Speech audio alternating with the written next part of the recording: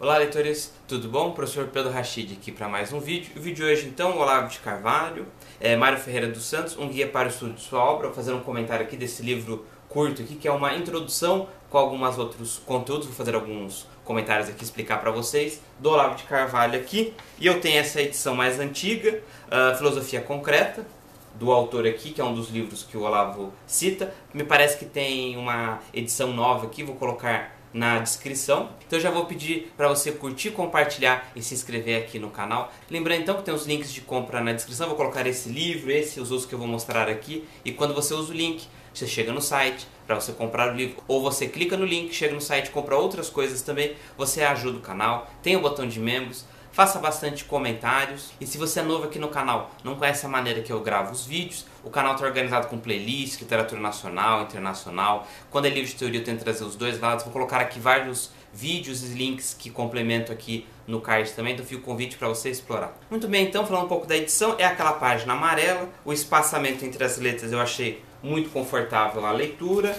É a edição é a mesma que padrão que a editora já está adotando para os outros livros dessa biblioteca aqui do Olavo de Carvalho. Tem as playlists aqui no card também, no canal. Este livro, além do, do Olavo, este outro autor aqui, que também publicou, o Ronald, foi o que ajudou a organizar este livro aqui. Ele tem esse conhecimento por presença, já está sendo lido vai aparecer aqui no canal. Este aqui, Conhecimento por Presença, é o estudo que o autor fez sobre as obras do Lauro de Carvalho, então vai ter bastante conteúdo para eu colocar na playlist do canal. Muito bem, então essa edição, ela tem muito conteúdo, mesmo sendo curto, tem o quê? 120 páginas, mas ela tem muito conteúdo porque na parte 2, o Olavo ele aplica no socialismo a parte de metodologia e teoria que o Mário Ferreira construiu. Então, o Olavo aqui, ele explica os livros, explica a biografia também do autor, as dificuldades que ele teve para organizar aqui.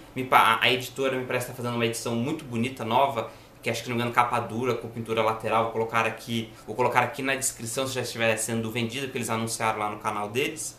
Que complementa novas revisões. Esse aqui, se eu não me engano, é baseado na terceira edição. Enfim, eles explicaram lá porque eles fizeram uma série de vídeos comentando as características da construção da edição, é, foi bem interessante. Então o meu plano aqui é tentar citar algumas páginas de cada parte do livro. Né? Então temos a primeira parte, que é um guia, um guia breve para os estudos, depois os aspectos da filosofia concreta, e depois do ponto arquimédico a Matizes Magisti. Aqui, esse outro item, o 3 é o que eu vou falar menos, que na verdade ele está concluindo, olha, então, o que o Mário Ferreira construiu, uma coisa muito importante, só que daí eu teria que explicar muitas coisas da obra toda. Então eu separei aqui, então aqui no meu roteiro, na parte 3, eu coloquei uma menor quantidade de citações, porque é justamente a conclusão, e é interessante você ler toda a obra para você entender o que o Olavo está explicando, eu não vou conseguir passar tudo isso aqui. Então aqui na 17, né, o Olavo traz uma informação sobre o Mário. Então o que acontece? A obra dele, como ele percebia pela biografia, né, no momento que ele estava vivendo, que ele tinha que editar, dar aula, trabalhar, na casa dele era uma bagunça, não bagunça sim, o escritório dele ficava no meio da casa, então as pessoas ficavam passando, então ele tinha que ler, escrever os vários volumes, e o que acontecia? Ele escrevia o volume 1 e citava, isso é e citava o volume 3. Porque ele não escreveu o volume 3, mas ele já sabia que a informação ia ser complementada, o que ele ia abordar em cada livro, como ia funcionar, e ele trocava às vezes o nome. Então ele falou: eu vou escrever tudo, né? o próprio Mário falou aqui em vários momentos: eu vou escrever tudo e depois alguém conserta. E justamente o Olavo ele tentou organizar melhor, ele falou as vantagens, desvantagens, é, dificuldades de você organizar tudo isso, ele fez algumas análises uma leitura muito fácil, muito agradável, que ele vai indo passo a passo mesmo. Exatamente. Aí na 27 aqui ele comenta o que eu acabei de falar, então são os dois itens da introdução. E a última citação que eu escolhi da parte 1, o que o Olavo comentou, falou, olha, no meu caso também é, espalhei por N motivos da minha biografia, tem vários conteúdos que estão em apostila e artigo, alguém tem que organizar, então este autor aqui já começou a fazer este trabalho né, o conhecimento por presença. O Olavo também comentou que o Edmund Husserl também aconteceu isso com as obras dele, os alunos, e parte da. E aqui tem uma tese, uma explicação. Eu não li esse aqui ainda, estou no começo, eu vou trazer aqui no canal. Então ele comenta isso na página 34, e agora tem um parágrafo da 34 que eu quero ler aqui para vocês. Um terceiro fator, mais sutil, é a propensão fortíssima nas culturas dependentes de cada intelectual de só se interessar pelas obras que expressam ideias afins às suas ou as de seu grupo de referência. Numa atmosfera dominada pelo intelectual coletivo do gramscismo, só tem atrativo as obras que expressam aspirações gerais da comunidade letrada. Aspirações que se resumem em tomar o poder e despedir-se o mais rápido possível das obrigações científicas em nome de supostas urgências maiores. O critério de valor das ideias é, é aí puramente mercadológico, e mesmo as mais profundas das verdades só se dita por um homem solitário numa linguagem que não ecoe logo no coração das multidões intelectuais é rejeitada como de menor importância. Então agora na parte 2 ele fala mais informações da vida e continua é, analisando a teoria e resgatando como elas conversam. Parte disso está aqui também e parte dessa situação do conhecimento por presença está aqui no Visão de Descartes, que também vai ter vídeo aqui no canal no futuro próximo, ou já tem aqui no canal, fica o vídeo para você explorar a playlist, porque o Olavo ele utiliza bastante o, essa informação de que a biografia do autor tem eu não vou resgatar aqui porque vai ser de memória, eu não vou lá nas citações, mas basicamente ele diz que você vai procurar a, o funcionamento do mundo, a filosofia vai te ajudar a compreender, não só explicar por explicar, e a biografia do autor, da pessoa que está escrevendo, está inserido nessa situação. Então ele traz vários trechos, mas como eu não selecionei aqui, estou citando de memória, mas essa situação aparece nesses livros que eu estou comentando. E aí justamente aqui na 41 ele cita isso. Em defesa do Mário, diga-se que ele tinha consciência, plena consciência desses problemas. Através da sua família eu soube. Não vai dar tempo, depois que eu morrer, alguém fará isso por mim. Para todos os brasileiros, responder a esse apelo se constitui numa obrigação, e de minha parte pude preparar a sabedoria das leis eternas, obra póstuma.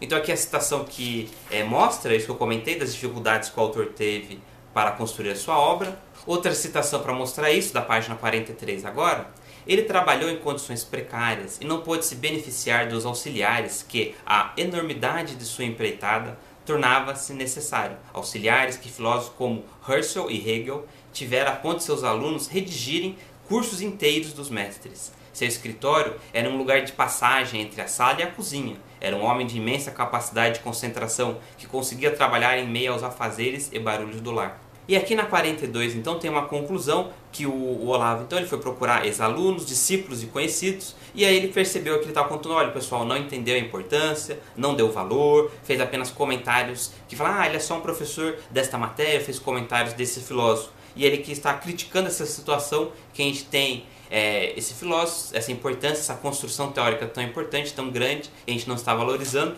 E aqui na 45, uma outra citação, isso acontece o Olavo comenta umas 3, 4 vezes, acredito, essa situação do Mário, que é o que?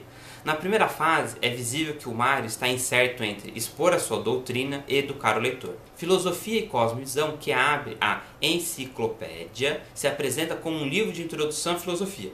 Portanto, uma obra didática pela qual um leitor leigo seria conduzido passo a passo até as grandes questões filosóficas. Então aqui uma outra situação que o Olavo está é, mostrando, que a obra tem momentos escrito muito fácil, e muito complexo, porque a teoria é complexa, mas ele está indo por etapas até aí tranquilo, só que aí, a, o, dependendo do nível do autor, fala, poxa, o, dependendo do nível do leitor, fala, nossa, tá fácil demais, ele está me introduzindo, mas não é um livro de introdução, mas será que ele está fazendo toda essa introdução para chegar na teoria? Então ele fica oscilando entre essas situações é, didáticas, explicativas, que talvez deveria ser é, arrumado ou revisto mais à frente. E também é um dos itens que o Olavo comenta aqui para a gente se atentar quando for realizar as leituras do Mário. Então aqui, usando uma citação das 50 e das 52, o Olavo começa aqui a análise, então, que o Mário Ferreira percebe que essas teses indestrutíveis, que são aqui né, o, na filosofia concreta, estão sintetizadas na pentadialética e decadialética, ele faz análise aqui nesse próprio parte 2, vai continuando aqui. Então, toda essa teoria que o Mário Ferreira está construindo, o que conseguiria então? Serviria de ferramenta com a qual destruir todas as demais filosofias contrárias. Segundo ele, as filosofias que ao longo dos tempos vão no sentido a, do alguma coisa a filosofias que ele denomina de positivas, predominam sobre as outras. Haveria assim uma espécie de linha central da filosofia, a cruzar toda a história que iria de Pitágoras, Platão, Aristóteles até São Tomás e Duns Scott, e assim por diante, até chegar afinal ao próprio Mário. Essa seria a espinha dorsal da filosofia, coisa na qual também acredito.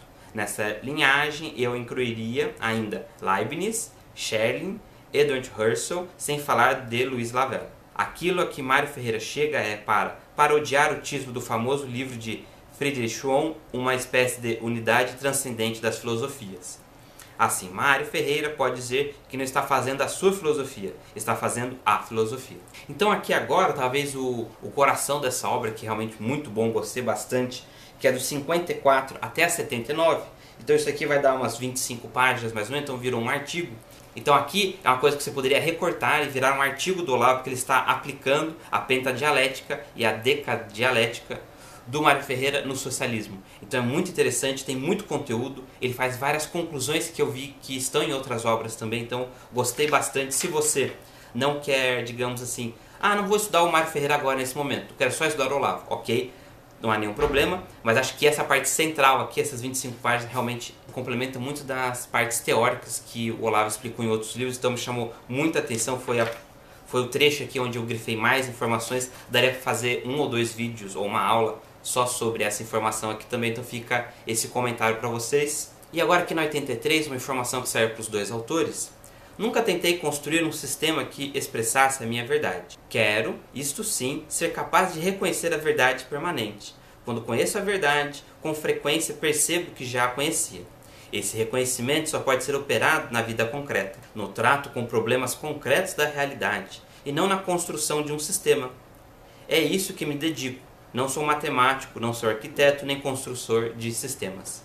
E agora aqui na parte 3, o que eu vou comentar aqui para finalizar o vídeo, ele está construindo, digamos assim, aplicando uma próxima etapa ou terminando o fechamento dessa análise inicial que o, o Olavo faz, do Mário Ferreira, e aí me lembrou bastante o Filosofia em seu inverso aqui, preciso trazer aqui no canal, ou, ou não sei o momento que você está vendo esse vídeo, já tem aqui no canal, porque esse livro tem muito conteúdo, tem uma sequência de ideias e tem artigos também, né? Porque ó, e outros estudos também que se complementam. Então tem bastante conteúdo e conversa bastante, acredito, com essa parte 3 aqui, que é, digamos, uma próxima etapa, uma aplicação. Então ele fez o sistema e aí qual é a próxima etapa desse agrupamento, dessa próximo degrau que o, Olavo, que o Mário Ferreira está construindo com os livros deles também. Então chegou até aqui, muito obrigado. Então apenas para mostrar que eu já mostrei em outro vídeo também, o que eu já tenho aqui do Mário Ferreira, que eu preciso ler e trazer para o canal. Então eu tenho Filosofia e Cosmovisão, Tratado de Simbólica e o Filosofia Concreta. Como eu comentei, a editora está é, já colocando à venda uma nova edição, não sei quando está vendo esse vídeo, mas vou colocar aqui na descrição. Não sei se ainda tem essa edição mais antiga aqui, que é capa, que é essa outra coleção aqui, né, esse design aqui com essa capa brilhante. Tem vários livros, autores que eles fizeram aqui com esse formato, é esse layout, mas a página amarela, o papel é bom, o espaço da o espaçamento das letras também é bom. Esse aqui eu não realizei a leitura ainda, mas enfim, vai estar tudo aqui na descrição. Então basicamente é isso, chegou até aqui, então muito obrigado. Não esqueça de curtir, compartilhar e se inscrever aqui no canal. Tem os links na descrição, botão de membros. Faça bastante comentário se gostou não gostou, já leu, já conhece mais aqui do, do Olavo, do Mário Ferreira, o que você gostaria de saber aqui, dar sugestões para organizando os próximos vídeos do canal. Então é isso, muito obrigado a gente se vê no próximo vídeo.